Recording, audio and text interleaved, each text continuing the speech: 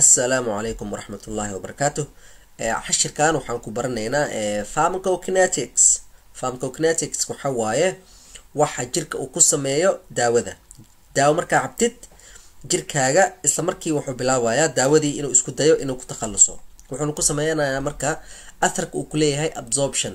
Daawadii jirka ma u gudbi doontaa marka hore. Su'aasha weydiinta waxay tahay daawo maadaama ay tahay waxyaalo chemical oo jirka uusan aqoonin oo jirka banaankiisa ka yimid sidee jirka gudihiisa u geli doonaa sidee mandhacarada uu gudbi doonaa oo dhiiggii u ku raaci doonaa. Distribution. Daawadii intay tegi doontaa ma xididada dhiig ayay ku hari doontaa ama unugyadii iyo tishuga oo loogu baahan yahay ay daawadii tegi doontaa. Metabolism. Jirka chemical oo uu ku sameyn doono. By transformation ayaa loo yaqaanaa. Markii daawo a cabtay jirkaaga wuxuu isku dayayaa isla marka inuu inactive ka dhigo oo daawadii uu ka takhaluso asana pharmacokinetics ayuu ka mid yahay. Excretion daawadii jirka in laga saaro kaliyaha inay sifeeyaan in oo sambabadaada aan neefsatid daawadii oo saasa iskaga saartid in oo biliary macnaha meeshan oo xamiitada biliaryga in oo lagu daro oo kaada aan dhehe saxrada uu sii raaco in maqaarkaaga oo uu ka takhaluso oo dhididka uu raaco. Soo marka pharmacokineticska conceptyaalkaas ay u taagan tahay oo loo yaqaano admi oo u taagan absorption distribution metabolism and excretion. So marka cashirkan waxaan uga hadli doonaa metabolism iyo excretion. Cashir kale ayaa jira oon uga hadlay uga hadalnay absorption iyo distribution. So cashirkan wuxuu ka kooban yahay oo keliya labadan concept oo kale ah metabolism iyo excretion sida biotransformation jirka oo uu chemical change ugu sameeyo daawadii aa cabtay and excretion iyo si jirka oo ugu takhaluso daawadii oo kaliyaha siday ku safeynayaan ama qofka inuu neefsado iyo conceptyaalkaas ayuu ka kooban yahay. So marka daawo markaa cabtid isla markii ama ay ku qaado xidid haddii lagaa siiyo ama kaniini haddii afka aad ka qaadatid ama suppository hadaa oo rectal macnaha oo aad ka qaadatid isla markii jirka wuxuu bilaabayaa concentrationka ama daawada inta jirka ku jirta in oo ay yaraato. Sababtan waxay tahay jirka wuxuu u arkayaa wax banaankaga yimid chemical macnaa wax sun oo toxic oo kale ayuu u yaqaana macnaa wax forian waaye oo jirka uusan aqoonin oo soo galay isla markii wuxuu isku dayayaa in uu ku takhaluso mandhexraha markii ay soo qaadaan oo lagu sameeya absorption oo distributionka waxay soo maraan berk. Berk marka waxaa ka buuxa enzymes. Enzymeskaas ayaa waxay sameeyaan in daawadii inactivation ay ka sameeyaan kaliyahan waxay bilaabaan isla markii ayagan inay ka takhalusaan oo kaadida ay sii raacsiiyaan daawadii. Sometimesne hepatic waxaa laga yaaba inuu inactivation ku sameynin laakiin kaliyaha oo keliya ayba ka takhalusaanbo asagoo active ah macnaa daawadii ayadoo active ah sida daawada penicillin oo kale hada daawada penicillin ayadoo active form ah ayay ka takhalusaan kaliyaha xataa waxaa jirtay markii hore penicillin sameyskeed ama sida loo helo macnaa moldiga oo fungi waxaa laga helay funguska ayaa laga helay. Moldiga aad ay u adkeed si oo oo loo filtration loogu sameyn lahaa. Waxaa la sameyn jiray marka dadka penicillin la siiyo nineteen fortyga iyo meelahaas in kaadidood la aruuriyo kaadidood ayaa la aruurin jiray qof walba oo penicillin cabo ayadaa la soo sifeyn jiray haddana dad kale ay cabi jireen penicillinka. Sababtoo ah ayadoo active form ah oo daawadii isbeddel aysan ku sameynin ayay kaliyaha ka takhalusi jireen. So marka markii daawada ay tagto beerka ha ahaato marka koowaad oo daawada absorption lagu sameeyo mandhaxrada ay qaataan inta aysan tegin wadnaha beerka ayuu sii maraa kadibna wadnaha ayuu soo gudbaa oo systemic circulation. Kuwa systemic circulation ku jirane isla markii macnaa waxaa soo qaada aorta wuxuu soo qaadaa hepatic arteries macnaa arterial oo waxay soo maraan beerka dhiig fara badan ayaa tago every second intaas oo macnaha chemical change ayuu daawadii ka takhalusaya macnaa beerka. Ama kow marka absorptionka ahaado ama marka caadiga jirkaaga oo systemic ugu jira ahaado ma istaagayo macnaha hepatic biotransformationka waa process oo soconaya. Renal clearancegana waxaa process soconaya oo daawadii si progressive ah macnaha. Mar walba oo second walbo in daawada jirkaaga ku jirto ay sii yaraanayso. Thats why maanta dhan qof daawa dose u qaadanayo oo maalintii saddex mar qaada lagu dhahayo sababtoo ah concentrationka ayaa yaraanaya oo ka takhalusayaan chemical change oo uu ku sameynayo beerka iyo ka takhalusid oo keliyaha ay sameynayaan.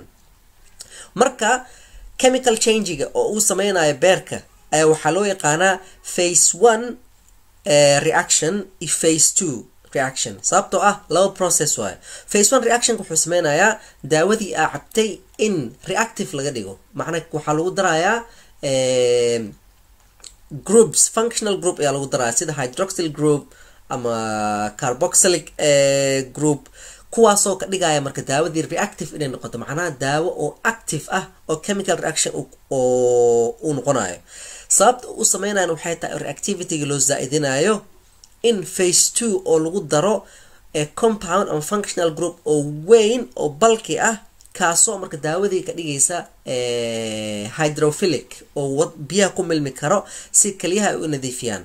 Saa hore u soo sheegnay hadda cashirka metabolism markaan baranaynay ee waxaan ku soo sharaxnay in kaliyaha haddii daawada oo ionize ay tahay macnaha oo hydrophilic oo biyaha ay ku milmi karto in aysan ku soo laabanaynin jirka oo kaadida ay ka takhalusayso sababta beerka u sameynaya marka face two oo ugu darayo functional group oo hydrophilic ka dhigaysa waxay tahay si ay u fududaato in kaadi ahaan kaadida loogu daro oo aysan jirka ugu soo laabanin kaas waxaa loo yaqaana marka conjugation conjugationkan ayaa wuxuu sameeyaa in daawadii lagu daro hydrophilic groupkan. So marka daawadan oo procetamol ah procetamol daawadan xanuun georgeska loo qaato waa daawo halis aad iyo aad halis u ah. Qofka haddii wax badan uu qaato oo overdose uu sameeyo.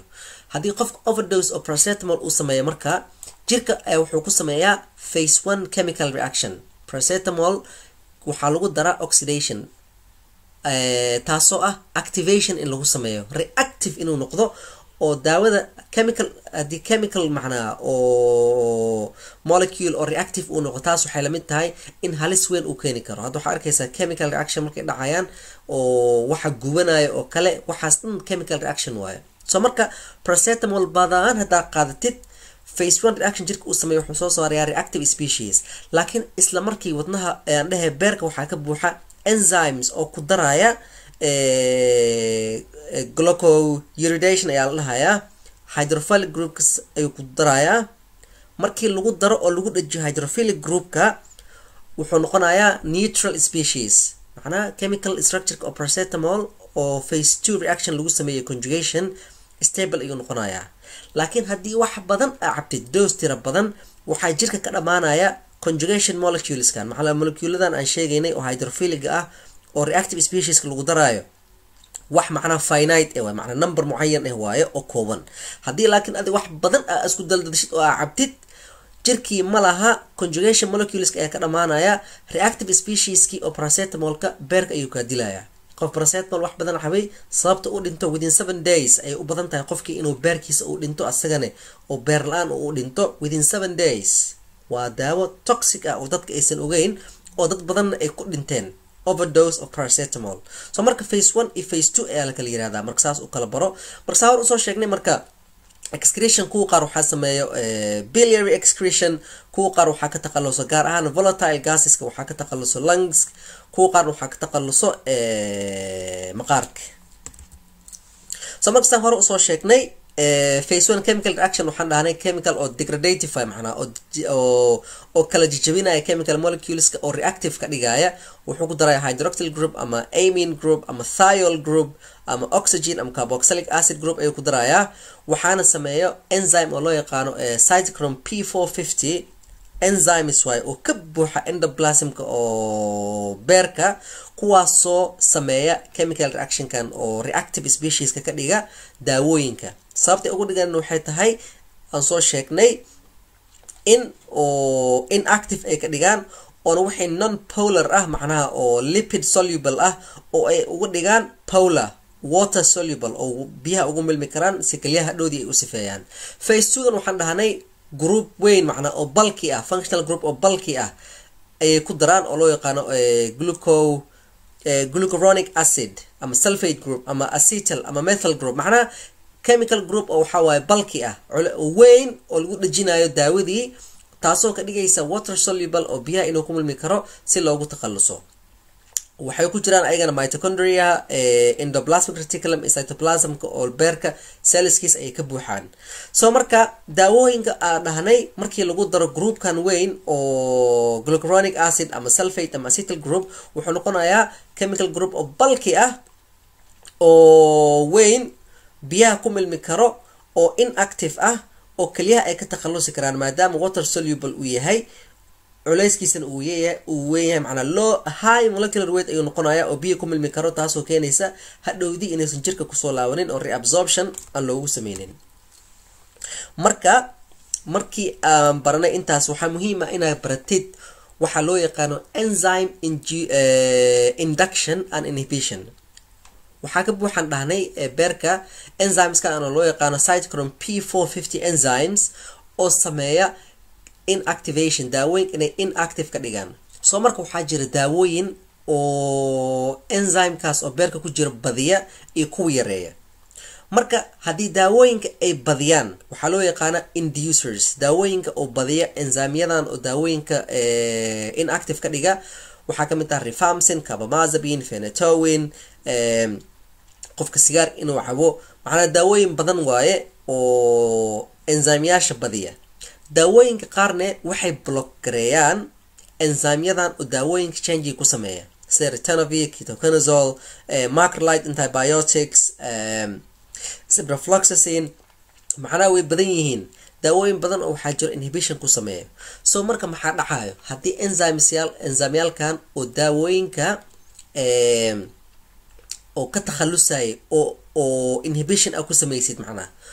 Oo inhibition waxaa waaye in enzymekii shaqadiisa aad joojisid. Clarithromycin oo kale daawadaas antibiotic macrolideka daacabtid waxay joojisaa enzymekan sib three a one four inuu yahay umaleynaa so haddii daawo statin oo simvastatin oo kale qofku u cawo maxaa dhacayo simvastatin enzymekaas ayaa wuxuu ku sameyn lahaa inactive inuu ka dhigo. So maadaama aad block garaysay enzymekaas shaqadiisa waxaa badanaysa concentrationka oo jirkaa ku jira oo simvastatin inuu bato oo uu ku keeno myopathy murqaha in oo ay kaa dhintaan. Waa rabdomyopathy ayaa la yiraahdaa. In concentrationka daawadii ay badato oo dhibaato weyn ay ku keento.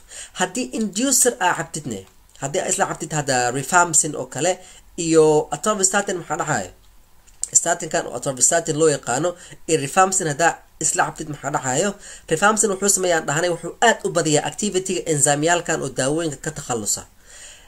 Okay daawadii atovistatin markaa isla markii baa laga takhalusaya sababtoo ah waxaa batay enzymyaasha oo ka takhalusaya daawooyinka so marka waa muhiim marka daawo inducer ah iyo daawada uu baabi'inayo ama daawada enzymekaas uu baabi'inayo inaadan isla qaadanin inhibitor iyo substrate aan isla qaadanin which means daawo walba in aad jeegaraysid metabolismka daawada ku sameynayso rifamsin qof hadduu cawaayo oo u baahan yahay philodopin concentrationka waxay noqonaysaa oo philodopin inaad badisid maadaama laga takhalusayo.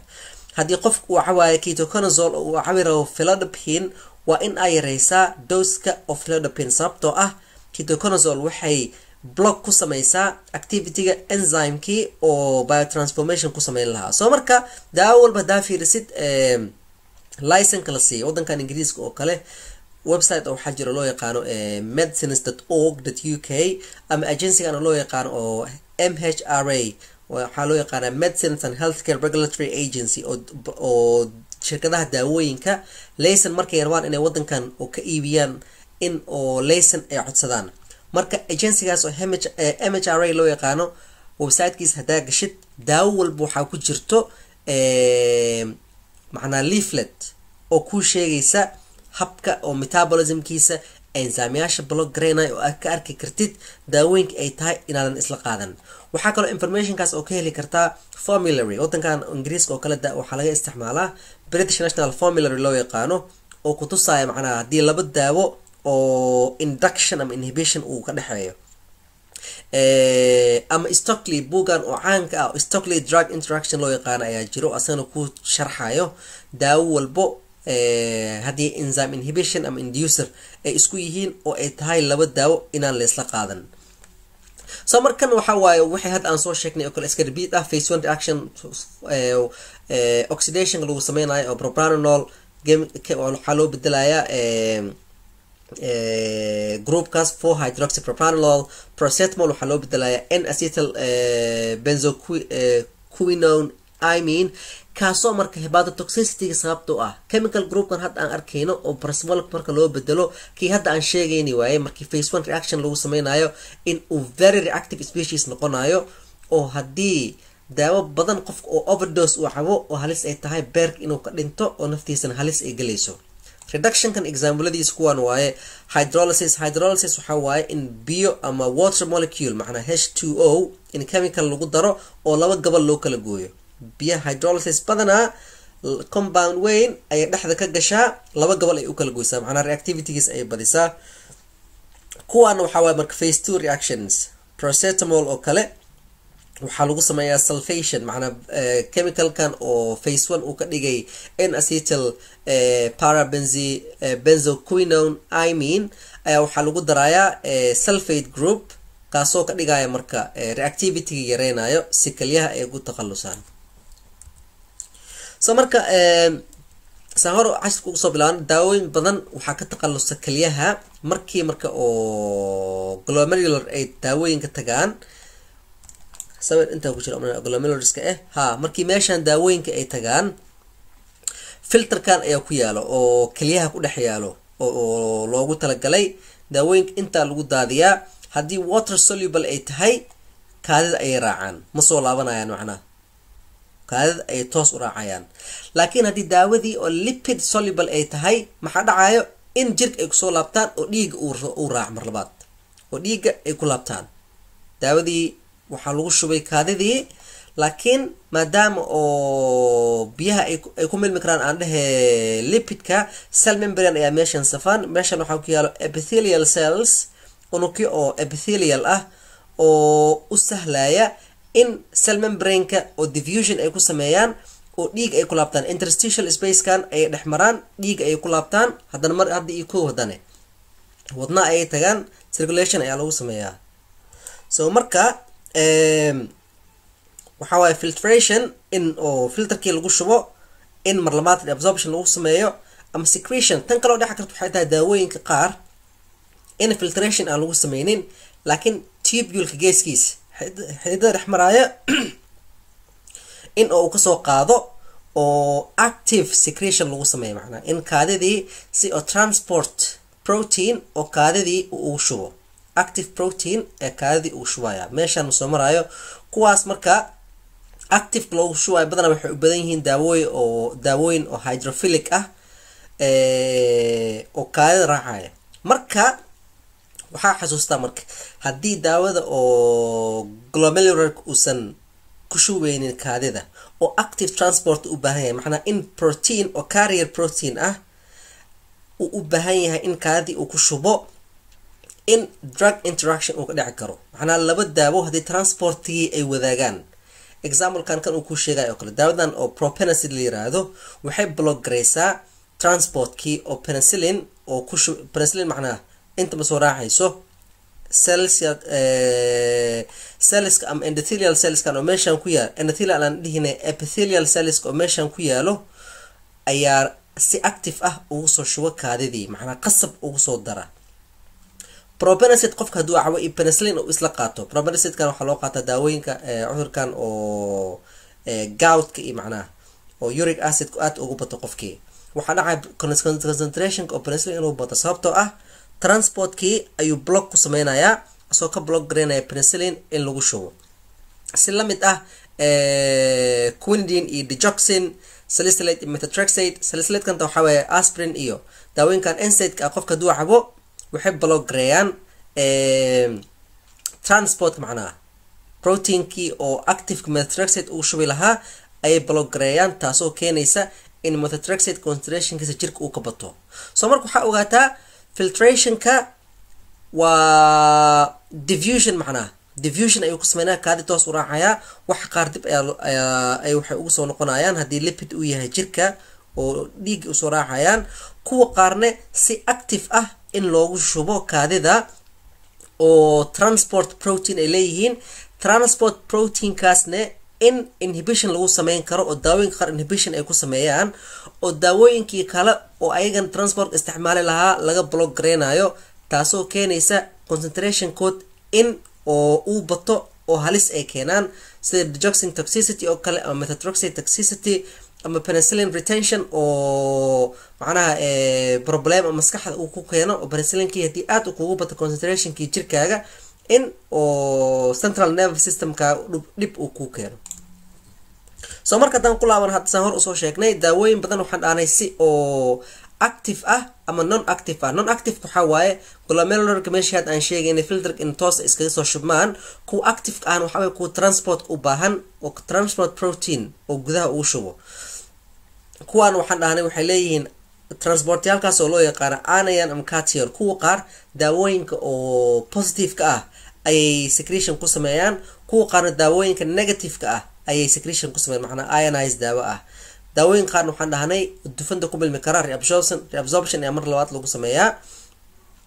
Marka fikradan waxaa loo sameeyaa haddii daawada oo lipid soluble-ka ah oo reabsorption lagu sameynayo daawo qofka waxaa la siin karaa potassium citrate oo kale oo ka dhigaysa kaadida alkaline. Alkaline hadaa ka dhigteed maxaa dhaxayo daawadii in aysan soo laabanin oo ay noqoto daawo ionized ah. Alkalinization of urine aad iyo aad ay muhiim ugu tahay. Xataa waxaa jira daawooyin qaar diabetes oo ayagana habkan ku shaqeynaya. Waxaa la bedelayaa p h macnaa p h ayaa kor loo qaadaya oo kaadida taasoo sahlaysa daawooyinka qaar inay ionise ahaadaan oo mar labaad uusan jirka ku soo laabanin macnaa inaysan inta ku soo laabanin waxaan dhahnay reabsorption ayaa lagu sameyn karaa. Laakiin haddii kaadida aad ka dhigtid p h kiisa kor u qaadid oo daawooyinka qaar aa isticmaashid waxaa kor u kacaya p h-ka oo kaadida taasoo ka celinaysa daawooyinkii meeshan ku laaban lahaa inay kaadida dhex joogaan oo jirka laga saaro oo qofka uu kaadiyo